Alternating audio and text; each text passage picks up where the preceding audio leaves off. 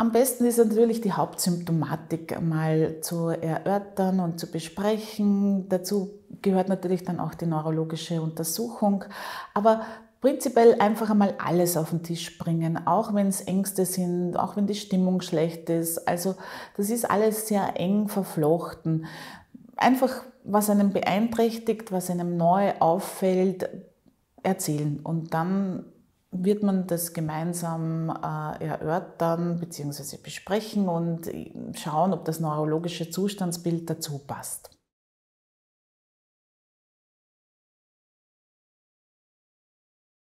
Die Veränderung, die ein Schub bedingt, das merkt der Patient. Also da gibt es ein Hauptsymptom und das wird er automatisch ansprechen.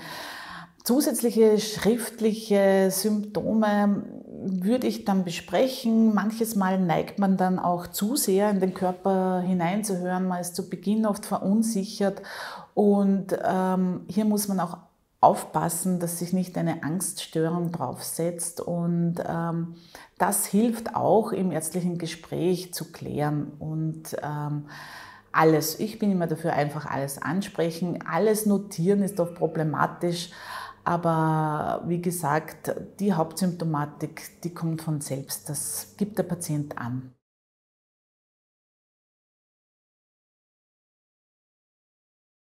Ich als behandelnde Ärztin habe gar kein Problem, wenn Sie, wenn Sie Angehörige mitnehmen wollen. Ja, also ich finde es im Gegenteil sogar gut, weil die sind eine Unterstützung. Gerade zu Beginn der Erkrankung ist ja alles irgendwie im Chaos und ein Durcheinander. Und hier ist es äh, oft gut, wenn man, wenn man eine Vertrauensperson an seiner Seite hat, die sich auch manche Sachen oft merkt, die, die, die momentan bei dem ganzen Stress und bei den, bei, dem, bei den unklaren Symptomen zum Beispiel oft untergegangen sind oder ähm, auch emotional ist man ja zum Teil gerade am Anfang überfordert.